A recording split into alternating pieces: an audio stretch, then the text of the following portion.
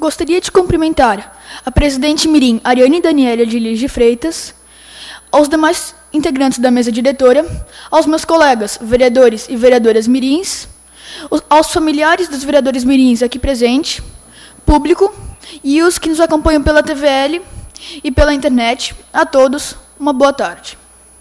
Hoje venho falar sobre discriminação, que atinge Blumenau, o Brasil e o mundo.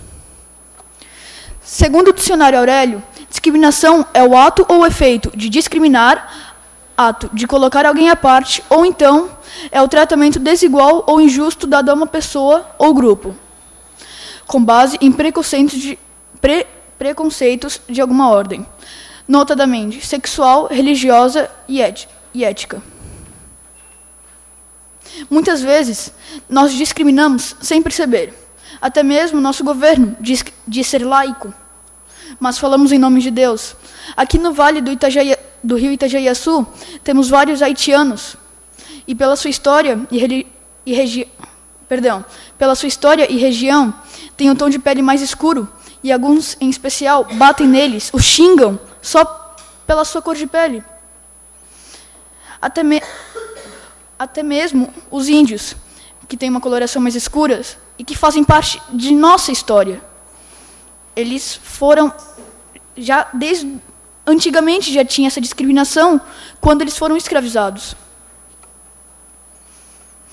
Eles lutaram, mas eram judiados, escravizados e abusados mas lutaram até o fim. Hoje, hoje em dia tem um preconceito muito visível, que é a cota racial. O que é cota racial? As cotas raciais são modelo, são modelo de ação afirmativa implantado em alguns países para amenizar a desigualdade social, econômica e educacionais entre raças, entre raças. Isso, segundo o site Brasil Escola. Em minha opinião, é errado, pois se a pessoa se a pessoa quer, ela consegue. É só ter for força de vontade, dedicação e, como diz Barack Obama, sim, nós podemos. Outro preconce preconceito é com o movimento LGBT, que só exige respeito e, na verdade, é desrespeitado por vários setores da sociedade. Para apoiar, não é preciso ser homossexual, e sim respeitar. Se será que é muito difícil?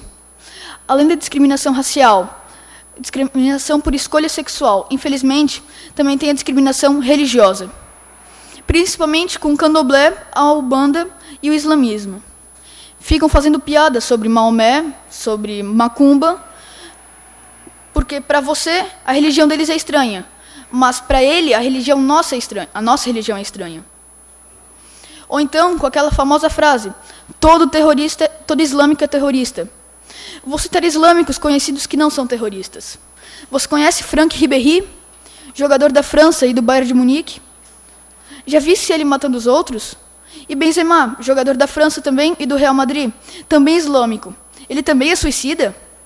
Isso, segundo o site copadomundoall.com.br e o site Wikipedia. Nós, no Ocidente, estamos generalizando o islamismo como terrorismo, e isso é errado. Aqui em nossa cidade, temos cidadãos fazendo piada sobre, piada sobre o terrorismo. So, perdão, sobre o islamismo. Agora, você gostaria que acontecesse com você? Obrigado.